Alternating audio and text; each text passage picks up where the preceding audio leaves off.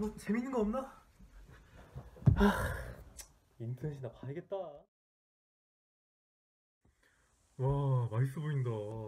나 한번 먹어보고 싶은데. 야, 그게 뭐가 맛있어 보이냐? 야, 그게 한식보다 뭐가 나아? 야, 솔직히 국밥에 소주 한 잔 딱 말아 먹으면 그게 바로 인생의 맛이지. 해외 음식에 그런 맛이 있나? 아, 그래도 한번 먹어보고 싶은데. 그렇지 않아? 아직까지 중남미의 참맛을 모르네. 내가 또 스페인어 전공생으로서 중남미의 참맛을 한번 알려주겠어. 그래서 뭐 중남미에 대해서 좀 아는 게 있어? 아니 잘 모르겠는데. 아뭐좀 들어는 봤어? 어. 중남미는 미대륙에서 미국과 캐나다를 제외한 중미, 카리브 및 남미 지역의 총칭이야. 중남미 대륙은 총 면적 약 2,055만 킬로미터이고 한반도의 93.5배야. 이렇게나 큰데 이게 또 전 세계 면적의 15%가 되는 거지. 또 중남미는 33개의 독립국가, 남아메리카 북동부랑 이제 카리브 지역에 이제 영국이랑 미국이랑 프랑스, 뭐 네덜란드 지역의 식민지로 이루어져 있어. 흔히들 중남미 말고도 라틴 아메리카라는 말을 많이 쓰지. 이게 미국과 캐나다를 일컫는 앵글로 색슨 아메리카에 대응된 단어인데 이 라틴 아메리카라는 지역이 하나의 문화와 역사를 공유한다는 점에서 사용되기 시작한 단어야. 하지만 중남미에서는 스페인어만 쓰는 게 아니야. 그 유엔 등 그래서 국제 기구에서는 공식적으로 라틴 아메리카와 카리브 국가 Latin America the Caribbean Countries라는 명칭을 사용하고 있어. 또 2018년 세계은행이 발표한 중남미 인구는 약 6.4억 명. 와, 좀 엄청 많다 진짜. 전 세계 인구의 8.7%나 된대. 또 이런 중남미 국가에서는 인디오와 백인의 혼혈인 메스티소, 흑인과 백인의 혼혈인 크리올 등 다양한 인종으로 구성이 되어 있어. 또 거의 대부분의 나라에서 스페인어를 사용하기도 하지만 대표적으로 이제 브라질이 포르투갈을 사용하고 카리브 지역의 국가에서는 영어를 사용하기도 하면서 아이티에서는 프랑스어, 또 수리남에서는 네덜란드어가 쓰이기도 해. 이렇게 다양한 매력이 있는 지역이 바로 중남미라는 것이지. 와, 되게 많네. 대박이다. 너 좀 알고 있었어. 브라질만 포르투갈어 쓰는 거 맞지? 나도 알아. 응. 야, 좀 많네. 그럼 너희가 다 알만한 내용에서부터 이제 느낌 있는 중남미의 문화에 대해서까지 내가 싹 다 한번 얘기해줄게. 너희 다들 메시나 뭐 네이마르, 수아레스 이런 이름은 들어봤지? 뭐 좀 더 옛날로 올라가면은 호나우드나 뭐 호나우진도 있고 말이야. 나 때는 진짜 호나우드 드리블이랑 호나우진을 개인기를 안다라는 학생들이 없었지.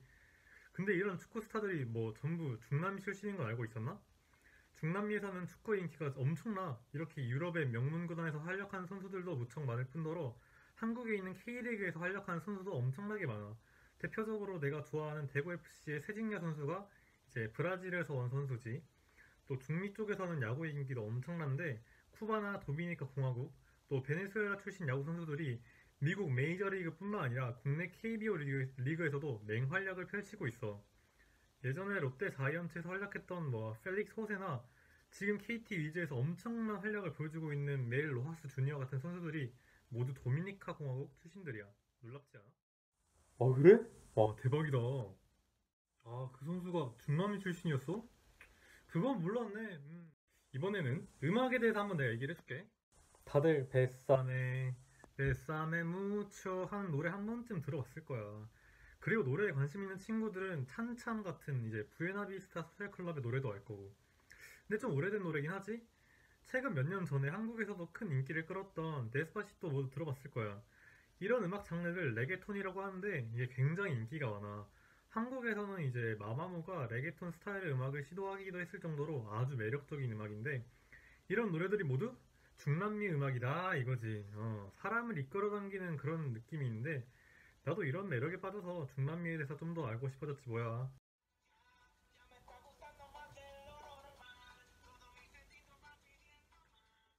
나도 데스파시토는 몇 번 들어봤다. 오, 너 듣는 게 좀 있구나. 음악에 들어갔다면 또 축제를 빼먹을 수가 없지. 또 영화 코코 다들 많이 봤지? 나도 보면서 돌아가신 분들 생각에 참 눈물이 나려고 그랬는데 겨우 참았던 기억이 나네. 영화를 보면 마을에서 축제가 열리고 있는데 그게 바로 멕시코의 전통 축제인 니아델로스 무에르토스야. 돌아가신 분들을 기리기 위한 행사로 재단 위에 죽은 분이 생전에 좋아했던 음식을 올리기도 하는 듯 한국어로 치면 이제 제사랑 굉장히 비슷한 면이 많아. 그래서 아마 한국인들이 좀 더 친숙한 면을 느낄 수도 있지 않을까 싶어. 또 다들 브라질 하면은 카니발을 떠올리곤 할 거야. 보통 이제 이런 카니발은 포르투갈 출신의 백인 문화가 지배적이던 브라질에 아프리카계 흑인들의 문화를 잘 녹아들이기 위한 노력의 일환으로 해석할 수도 있어. 그냥 신나고 시끄러운 축제가 아니라 다양한 문화와 인종이 살고 있는 중남미 지역, 그 브라질의 정체성이 녹아든 하나의 문화적인 행사인 셈이지. 이런 카니발에서는 삼바 퍼레이드 등을 펼치며 아주 화려한 볼거리를 제공한다는데 흥겨운 삼바 리듬에 한번 몸을 맡겨보고 싶지 않아?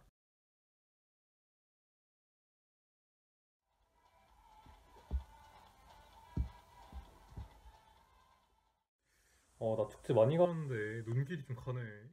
가보고 싶지? 중남미에 멋있는 데가 얼마나 많은데. 중남미에는 엄청난 자연 문화유산이 굉장히 많아. 일단 페루 하면은 먼저 떠오르는 게 마추픽추 다들 알지? 이 유명한 마추픽추 말고도 외계인이 만든 게 아닌가 이런 의심을 자아내고 하는 나스카라인도 아주 유명해. 한국의 한 여행 프로그램에서 이 지역으로 여행을 가서 국내에서도 관심이 굉장히 높아졌던 기억이 나네.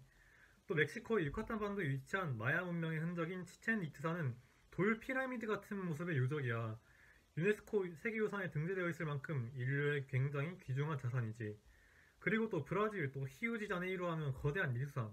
이 코르코바도 언덕의 예수상이 아주 인상적이야. 정말 웅장하게 생기지 않았어? 또 브라질과 아르헨티나를 갈라놓는 이구아수 폭포도 기가 막힌 절경으로 유명하지. 진짜 모르는 사람 없을 거야. 어. 또 볼리비아의 우유니 사막은 정말 우유 같은 맑은 빛깔로 유명해. 그래서 이름이 우유니 사막인가? 어, 이 사막은 소금 사막인데 여기가 또 기가 막힌 포토 스팟으로 유명하지. 소금 사막의 물에 반사된 풍경의 모습은 진짜 그야말로 아, 여기가 천국이 아닌가 싶을 정도라니까 당장 카메라 챙겨서 가보고 싶은 마음이 생기지 않아? 어우, 나도 여행 좋아하는데. 나도 마추픽추 꼭대기 한번 눈길 한번 주고 싶은데. 나도 볼리비아 소금 사막에 얼굴 딱 비춰보고 싶은데. 나도 브라질 예수상에 어깨동무 한번 딱 하고 싶은데. 아쉽네. 좀 조용히 해봐 좀. 넌 다 갔다 와봤어? 당연히 다 갔다 와봤지. 그럼 이번에는 중남미 국가들과 한국과의 연관성에 대해서 내가 좀 설명을 해줄게. 한국과 중남미 국가들은 큰 연관성을 맺고 있어. 중남미 국가 중에 한국과 FTA를 협정한 나라만 해도 칠레, 페루, 콜롬비아, 니카라과, 온두라스, 코스타리카, 엘살바도르까지 7개 국가나 돼. 이 정도로 경제적 협력 관계에 있을 뿐더러 또한 FEALAC이라는 동아시아 라틴 아메리카 협력 포럼을 출범시켜서 정치, 경제, 과학, 기술, 교육, 문화, 스포츠에 이르기까지 다양한 분야에 대한 양 지역 간의 이해와 협력을 도모하고 있기도 해. 또 중남미 지역에는 많은 수의 한인이 거주하고 있고 또 각 지역 사회 일부로 자리 잡아서 살아가고 있어. 대표적으로 페루 찬차마요 시에는 한국인 정흥원 씨가 시장으로 당, 당선돼서 한때 핫한 이슈가 되기도 했지. 또한 최근 들어 방탄소년단으로 대표되는 K-팝 문화가 중남미 지역에 아주 적극적으로 받아들여지고 있다는 거 알아? 한국어 공부에 대한 관심도 굉장히 커지는 등 한국에 대한 인기가 전반적으로 굉장히 높아지고 있는 추세야. 아, 진짜 가보고 싶다. 확실히 뭐 관심이 가는 것 같긴 하네. 어, 네, 인정할게. 그렇게 해외여행 관심 있다면 해외여행하면 또 역시 음식이지. 또 중남미 하면 또 엄청나게 맛있는 음식들이 많지만 나름 유명한 또 대표적인 친구들만 소개를 해주도록 할게. 다들 타코나 브리또는 들어본 적 있을 거야. 둘 다 멕시코의 대표적인 음식으로 이 또르띠아 안에 뭐 고기랑 쌀쌀랑 이제 토마토, 양파, 치즈콩을 넣어 먹으면은 하, 이게 인생의 맛이 아닐까? 또 세비체란 음식은 다소 생소할 텐데 한국어로 치면 이제 회 같은 거라고 볼 수 있어. 음, 이런 생선이나 새우 같은 걸 잘라가지고 레몬즙에 재워놨다가 나중에 소스를 뿌려서 이제 차갑게 회처럼 먹는 음식인데 페루의 요리로 굉장히 유명. 그리고 다들 떼끼라 알지? 음, 멕시코 술이야. 이제 한국으로 치면 소주 있으면 이제 멕시코에는 떼끼라가 있는 거지. 어, 이걸 라인 한 입에 소금 한 입에 그냥 훌꺽 들이키면은 어 다음날 기억이 사라질 수 있으니까 조심하라고. 음, 하지만 한번 먹어보는 걸 정말 추천하고 싶어. 오늘 밤에는 타코에 데킬라를 한 잔 말아서 마셔보는 건 어떨까? 그래, 나 저거 브리또랑 테킬라랑 같이 먹어보고 싶어. 약간 그 한국에서는 국밥과 소주를 먹듯이 이제 테킬라랑 브리또랑 같이 먹는 거지. 그래, 한번 가자! 중남미의 매력에 푹 빠져버렸구만. 여러분도 오늘 하루는 테킬라와 브리또를 함께 먹어보는 건 어떨까요? 영상을 시청해주셔서 감사합니다. 그라시아스 모르베르